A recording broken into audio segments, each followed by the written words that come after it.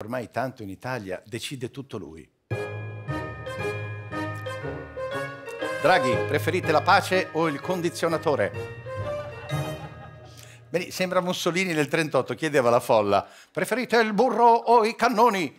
Cazzo, sono passati 84 anni, ma a noi italiani ci piacciono sempre quelli che fanno domande populiste.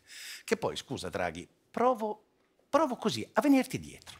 D'accordo, dai. Mi chiedi di scegliere fra la pace e condizionatori. E poi però, e lì, mi metti il bonus sui condizionatori. Bonus condizionatore fino al 31 dicembre è possibile acquistare o sostituire un climatizzatore con detrazioni dal 50 al 65%. Ma come ragiona Draghi?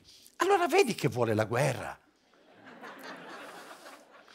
È come se, no, ma è come se il mio medico mi proibisse di bere e poi dicesse e ora brindiamo la diagnosi.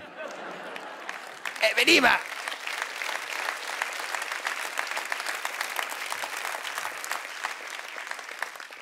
Tra l'altro, Draghi, cosa ci metti il bonus sui condizionatori se poi non ce li fai usare? Il condizionatore al primo maggio, la stretta, non meno di 25 gradi. Per ora il limite di 25 gradi si applica solo agli uffici pubblici, ma per gli altri ambienti ci stanno pensando. Resta però aperta la possibilità di estendere le regole anche ai privati. Tu pensa, ad agosto, 4 di notte, 40 gradi fuori, tu sei nel letto a 24 gradi e ti arriva un vigile col termostato per darti la multa. Come si fa a far rispettare una norma così che non vedi un vigile per strada a pagarlo oro? Oggi, stamattina, venendo qui, ne ho visto uno perché c'è stato un tamponamento, ma non accadeva dagli anni 60.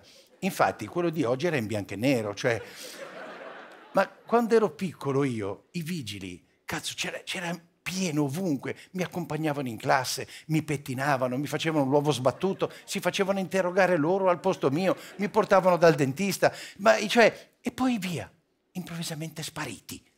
Oggi per controllarti i condizionatori devono mandarti i droni come in Minority Report, cioè è impossibile. E comunque il primo maggio non ci porta solo scomodità, eh?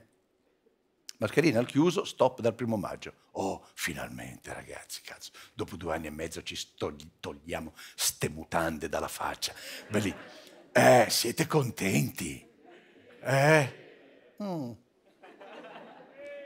Eh, sì, no. Dai, basta, è finita, al chiuso la mascherina si toglierà dappertutto. Beh, certo, con qualche piccola eccezione. Infatti nei teatri la mascherina rimarrà, come voi avete tutti la mascherina, no? Giusto, è ovvio, anche nei cinema. Poi per, rimarrà obbligatoria solo sugli autobus, nella metro, sui traghetti, sulle navi, sugli aerei e sui treni. Beh, poi è evidente, nelle scuole rimarrà per forza, ma anche negli uffici pubblici, nei supermercati rimarrà.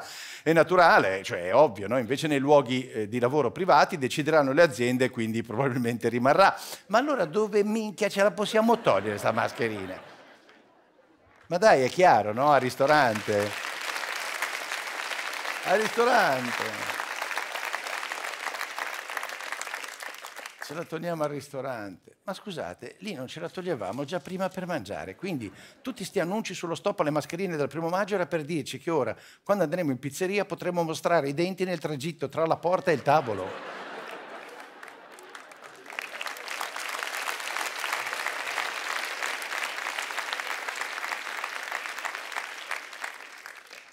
Grazie Draghi grande provvedimento, ci sta cambiando il mondo, sta cambiando il mondo. Fratelli, ve lo giuro, io rimpiango tanto il 2019. Ma ve lo ricordate come eravamo felici? Senza la pandemia, senza la guerra, con il climatizzatore a palla.